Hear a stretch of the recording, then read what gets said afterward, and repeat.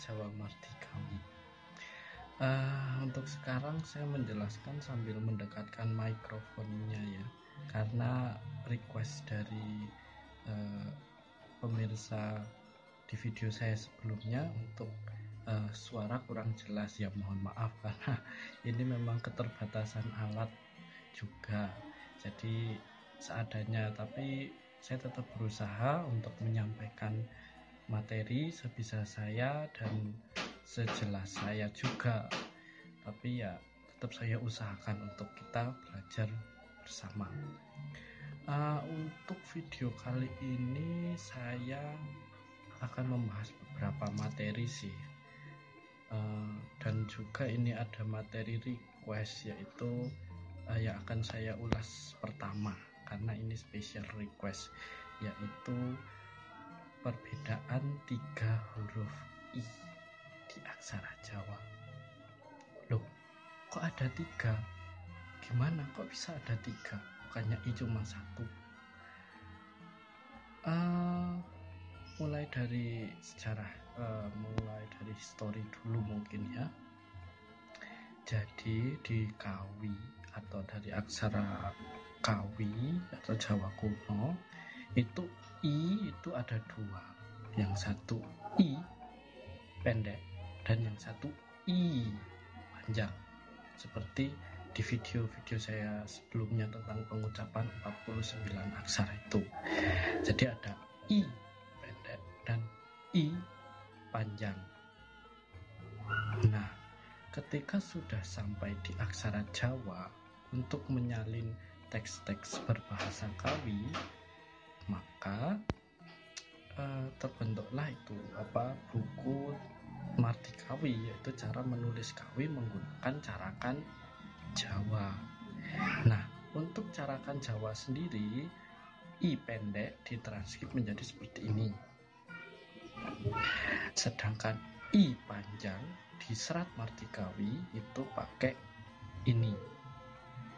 Ya, jadi pakai itu nah tetapi sekarang itu ada varian i yaitu uh, seperti i panjang tapi ini.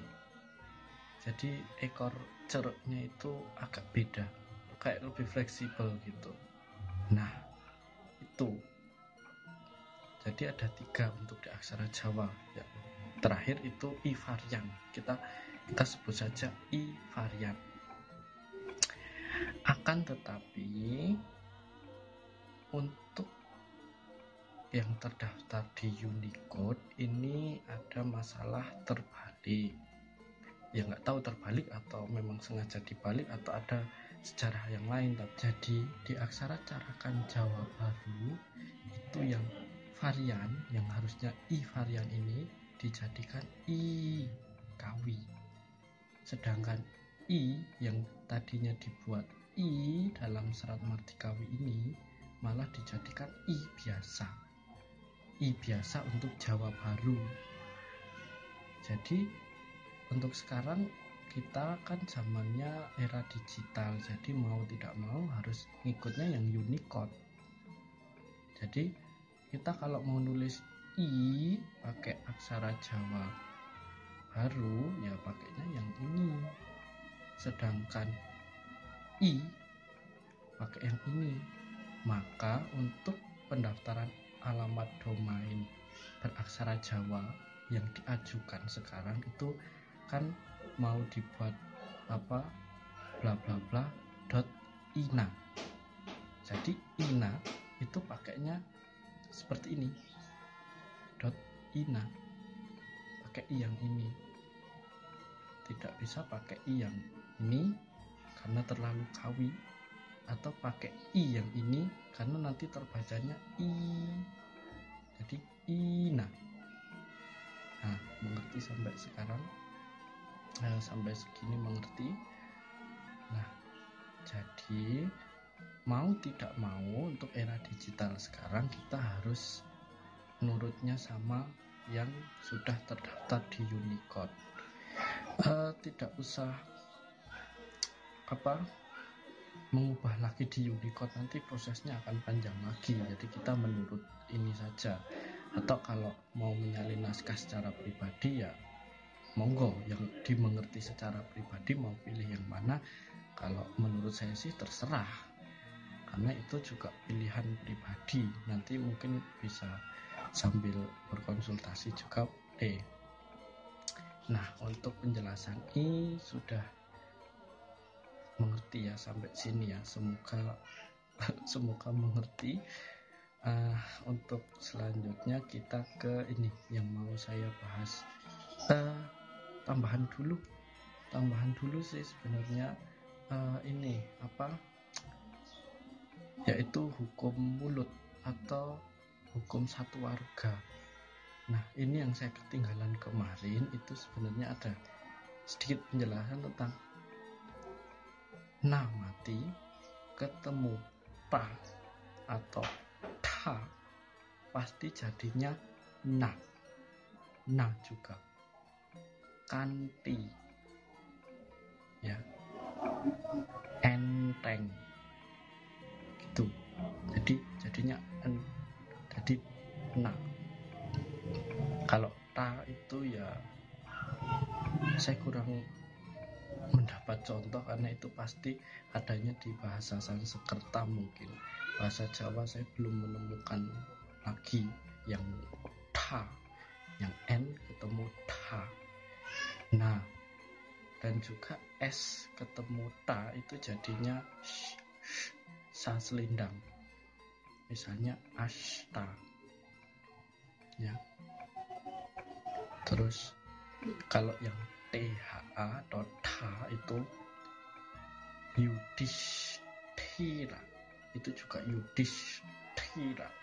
Ketemu Ta itu jadinya Saslindar kalau Ta ya mungkin Asta ini. Asta. Nah penjelasan singkat saja. Karena cuma dua ini uh, sudah mengerti semoga dimengerti ya. Kita ke ini pasangan yang selingkuh oh loh kok selingkuh? Gimana kok dinamakan selingkuh? Iya selingkuh karena tertukar. Benar-benar tertukar atau ditukar atau menukarkan diri saya tidak tahu. Tapi uh, di Marjakawi beda. Jadi kita mulai coba mengulas dengan aksara ba. Ba. Ini pasangannya ba seperti seperti aksaranya juga huruf ba bentuknya. Ba juga. Sedangkan ba yang maha perana ba itu baru pasangannya ini. Nah kalau di Jawa Baru itu ditukar ya. Jadi pertukaran aksara ini selingkuh pertukaran pasangan. Jadi pasangannya selingkuh ba dan ba. Sedangkan di Jawa Baru ba ini pasangannya dibuat-buat seperti bentuk induknya yaitu ba seperti ba juga. Tapi sebenarnya itu ba ya seperti ba terus ba baru seperti pasangan ba yang sekarang. Lanjut. Ta dan da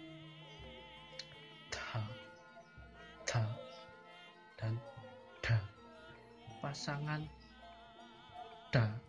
ini itu seperti ini. Da. Sedangkan ta ta ta itu seperti ini. Seperti uh, induknya tapi di zaman era sekarang uh, selain fungsi da digantikan da pasangannya juga diambil oleh da jadi pasangan da ini diambil oleh da ini untuk pasangan apa di Jawa Baru sekarang. Ini juga pertukaran. Ya. Jadi eh, seperti itu. Saya tidak tahu prosesnya seperti apa tapi pokoknya itu oh, pasangannya sudah tertukar dan juga nya dengan nia nya. Nia pasangannya. Ya seperti induknya. Nya. Sedangkan nia sebenarnya ini gabungan dua aksara sih bukan satu aksara utuh ya. Nia baru seperti sekarang. Pasangan nya yang digunakan di Jawa Baru sekarang itu sebenarnya adalah gabungan dari na dan ya harusnya terbacanya nia bukan nya lagi nah inilah pertukaran aksara lagi eh pertukaran pasangan atau perselingkuhan pasangan aksara. Uh, lanjut lagi sa dan sha. Sa dan sha sha sha. Yang lidahnya ditekuk ke langit-langit sa sa biasa dan sha ini harusnya pasangan sa yang biasa itu seperti ini. Jadi seperti suku dan pasangan pa. Sedangkan sha selindang sha puspa. Pasangannya ya pa di puspa di selendang nah untuk sekarang pasangan sa biasa ini ditiadakan diganti dengan pasangan sa selendang. Dan di Jawa Baru setelah selendang ini sudah tidak dikenal. Makanya tidak perlu pasangan lagi karena uh, aksaranya juga sudah tidak dikenal tidak dibutuhkan lagi. Maka pasangannya diambil alih dipaksakan di sa Nah, perselingkuhan lagi. Dan juga uh, selanjutnya pasangan ya sama ra. Di Martikawi itu masih ori ya, masih ori. Jadi pasangan ya itu sebenarnya yang sekarang dijadikan pengkal. Bali masih pakai, Bali masih dan Ra itu ya pasangannya cakra. Nah, untuk Jawa Baru, cakra sama pengkal itu dijadikan panjingan. Sedangkan pasangan ya sama ra dibuatkan baru. Seperti bentuk induknya. Nah, kalau ini bukan perselingkuhan tapi pemaksaan pemisahan diganti ya dijodohkan dengan yang baru ya mengerti mungkin cukup sampai di situ dulu video kali ini. Ya semoga dimengerti. Uh, jangan cuma nonton silahkan. Subscribe subscribe itu oh, jangan lupa subscribe apa ini? YouTube itu ya subscribe subscribe cok subscribe subscribe. Ya, kurang lebih seperti itulah ya. Uh, kurang lebihnya mohon maaf. Silahkan komen jika ada yang mau ditanyakan atau diskusi. Uh, saya akhiri. Rahayu.